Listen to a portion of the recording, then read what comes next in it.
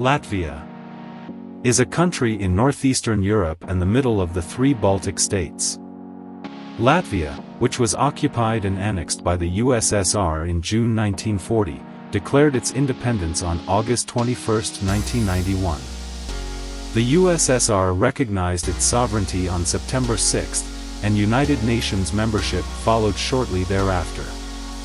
Latvia was admitted to the North Atlantic Treaty Organization, NATO, and the European Union, EU, in 2004.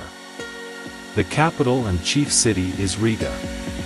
Land Latvia lies along the shores of the Baltic Sea and the Gulf of Riga, and it is bounded by Estonia to the north, Russia to the east, Belarus to the southeast, and Lithuania to the south. Relief, drainage, and soils. Latvia is essentially an undulating plain, with fairly flat lowlands alternating with hills. The eastern part of the country is more elevated, its most prominent feature being the central Vidzeme upland, which reaches a maximum elevation of 1,020 feet, 311 meters. In the southeast, the highest point is Lielais Liepkalns, 947 feet, 289 meters, which is part of the Rāzna National Park territory.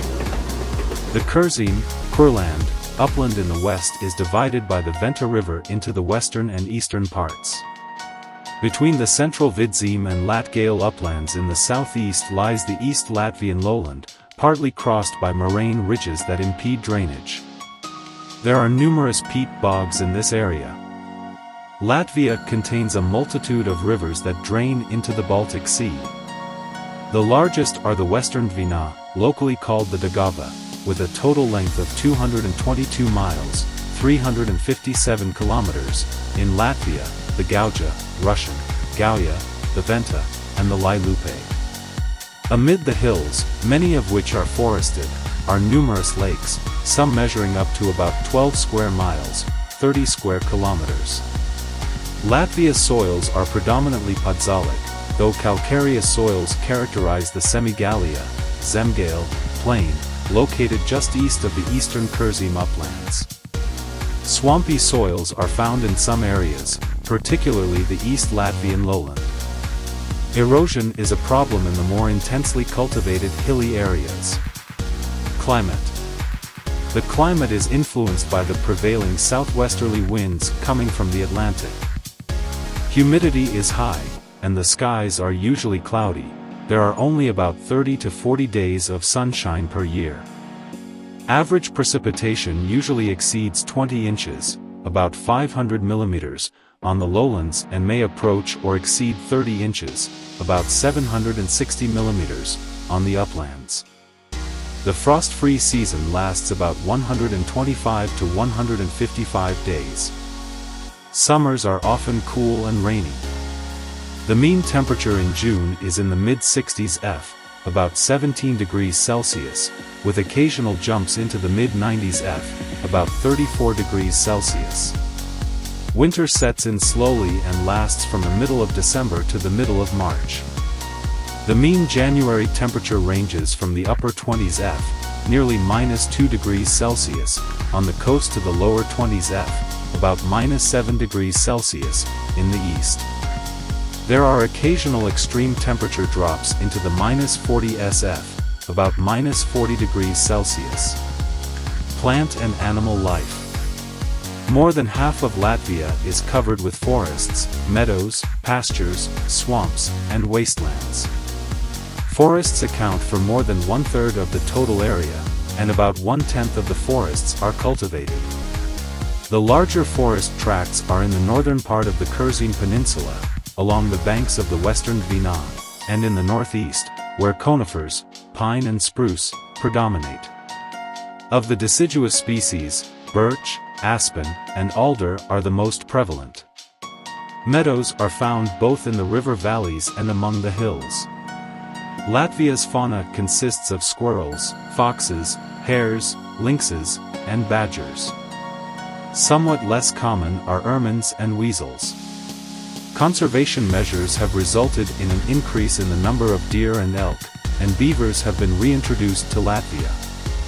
The country's bird population includes the nightingale, oriole, blackbird, woodpecker, owl, grouse, partridge, finch, tomtit, quail, and lark. Storks and herons are usually found in the marshes and meadows. Economy of Latvia Industrialization in Latvia began in the latter part of the 19th century, and by the late 20th century the country was the most heavily industrialized of the Baltic states. Substantial economic changes occurred following Latvia's independence in 1991, as the country transitioned to a market economy. Starting in the mid-1990s, the economy diversified, and by the early 21st century most industries in Latvia had been privatized. Agriculture and fishing.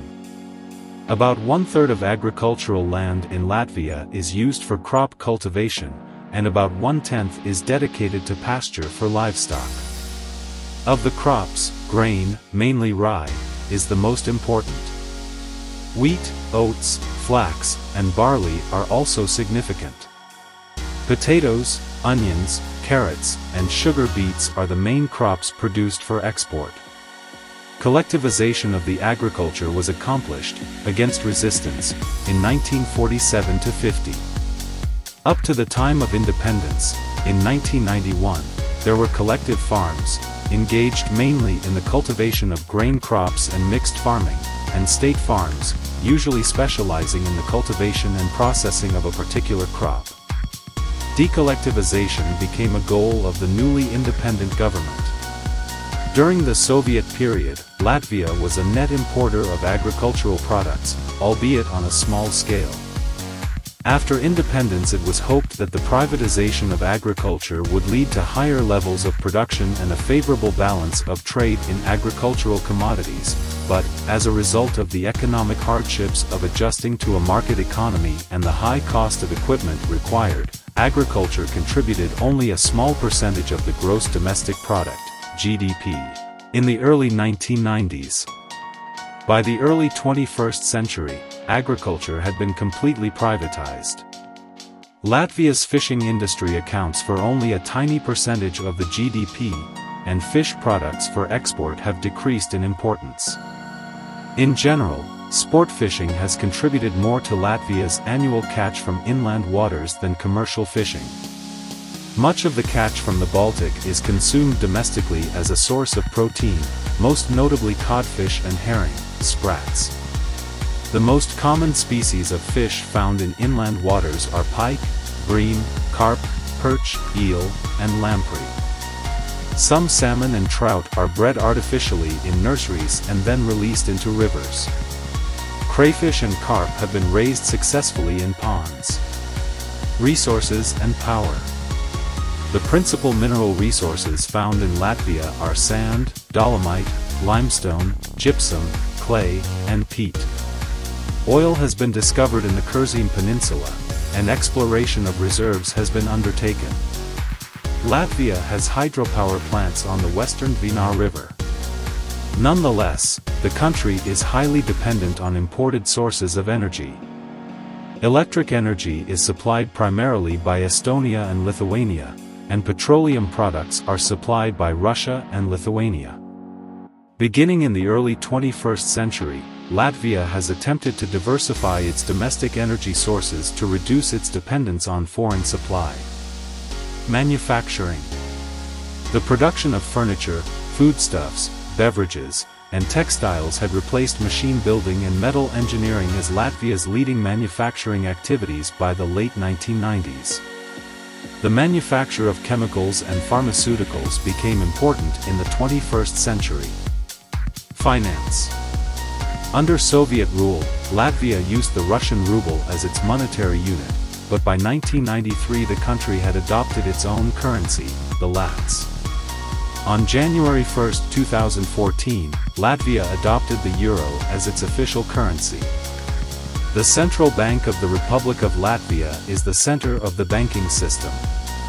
There is a stock exchange in Riga. In the middle of the first decade of the 2000s, foreign direct investment, which came mainly from other EU countries, accounted for about one-third of GDP. Thank you for watching.